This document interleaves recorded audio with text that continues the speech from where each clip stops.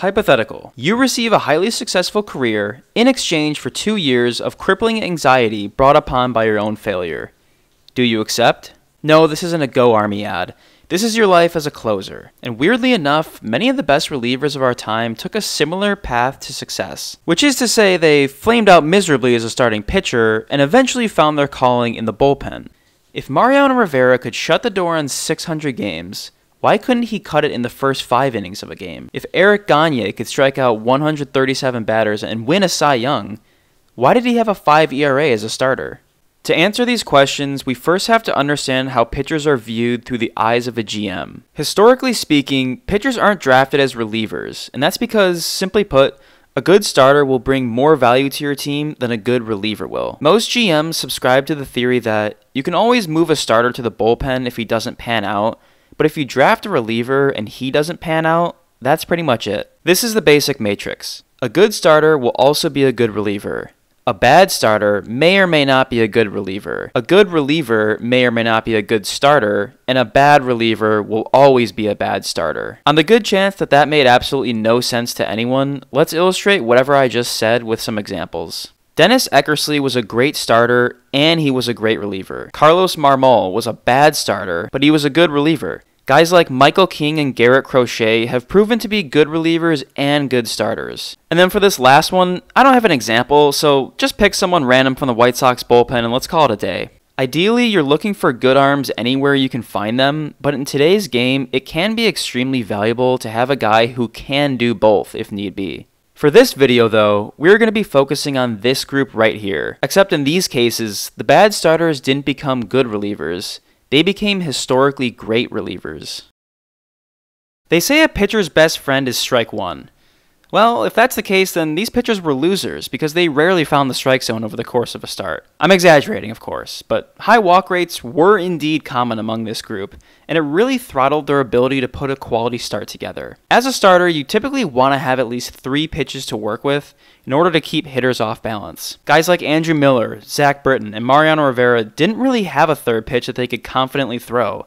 And actually, in Rivera's case, he really didn't even have a second pitch noting himself that he never had a good breaking ball. This took the guesswork out for hitters and likely led to the high walk rates, as pitchers were trying to pinpoint their location as a way of compensating for their predictability.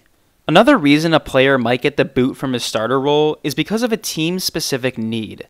In Eric Gagne's case, the Dodgers' previous closer, Jeff Shaw, actually retired at the end of the 2001 season, which is why Eric Gagne got the opportunity to close the next year. Andrew Miller lost the last spot in the rotation coming out of spring training with the Red Sox in 2012 and was forced to the bullpen. And Luke Hochevar's elbow injury opened the door for Wade Davis to become a permanent mainstay in the Royals bullpen entering the 2014 season. There are other examples that aren't necessarily shared among all the guys, but are more player specific, like Eric Gagne notes that being a closer fit his personality more because he could let loose. And Liam Hendriks talked about how the Twins used him wrong, saying that as an organization they wanted their pitchers to have good sinkers and changeups, both pitches that he didn't throw well as a power pitcher. But enough about what didn't work. How did these guys all turn it around so drastically, seemingly overnight? Oddly enough, the thing that dooms a starter's career tends to be their saving grace as a reliever. All of these pitchers were given a chance to succeed in the bullpen, not just because starting didn't work out, but because they had noticeable strengths too. Batters couldn't touch Andrew Miller's slider. No one knew how to hit Eric Gagne's Vulcan changeup, and trees started killing themselves before they were slaughtered by Rivera's cutter. Transitioning to a reliever was the thing that finally highlighted their rare ability after being kept under wraps as a starter for so long. It's like Bryan Cranston. Sure, he was good in Malcolm in the Middle, but he needed the opportunity of Breaking Bad to show the world that he had Walter White in him the whole time. Now let's talk numbies. One of the obvious things that happens when someone moves to the bullpen is their velocity will tick up. Batters didn't have any trouble hitting these fastballs when they were 90 to 91, but 95 96 is a different story. Britton, Davis, Miller, and Hendriks all saw fairly decent jumps in their velocity, but one guy who didn't join the club was Brad Hand. His fastball remained stagnant at 92 93, but he was able to win in another way by adding a new pitch. In 2016, Brad Hand unleashed his newfound slider on the league and dominated for a season high 89 innings of relief. The pitch generated 61 strikeouts and was top 10 in whiff percentage, just behind guys like Blake Snell and Edwin Diaz. Adding a brand new pitch is cool and all, but it's also a try hard move. Most of the other pitchers chose to stick with their current pitches and just tweak their usage a bit. Britton went full throttle with his sinker, electing to throw it over 90% of the time. Andrew Miller dropped his changeup and sinker to move to a fastball slider combo. And Wade Davis gave up on his changeup and sinker to attack hitters with his four seam, cutter, and knuckle curve. The natural output of all this was success.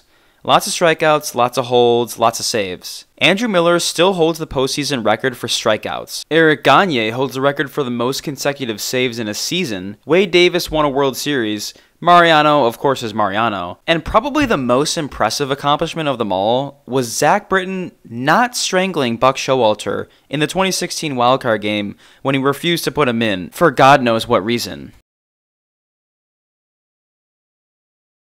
So, what about current day examples? Let's start with Griffin Jax. He's quickly becoming one of the best relievers in baseball, and he didn't even pretend to be good as a starter. One season, 14 starts, and a 6.10 ERA. But now, he's lights out and sits atop the pitching plus leaderboard on Fangraphs, which is a stat I know nothing about but is probably useful. Matt Brash is another good example. The Mariners wanted him to make it as a starter, so they gave him a chance in 2022, but he just couldn't throw enough strikes. Oh well, I guess he'll have to settle for a 35% strikeout rate as a reliever. And I'll give you one more. This guy hasn't made the transition yet, but I'm going to call my shot here. DL Hall, left handed pitcher for the Brewers.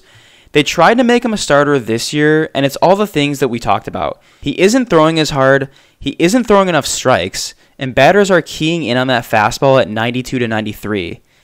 I know he got hurt, but it still feels obvious when I watch him pitch that he's just not a starter. Drop that changeup, drop the curveball, and just let it rip with the fastball and slider. So the next time you're watching a game where the starter gives up 9 earned runs in the first inning, just remember, you might be watching the next Mariano Rivera. That's a terrible line. Oh yeah, like you could do any better. Anyone can recognize greatness in the end, but only few can recognize greatness in the now.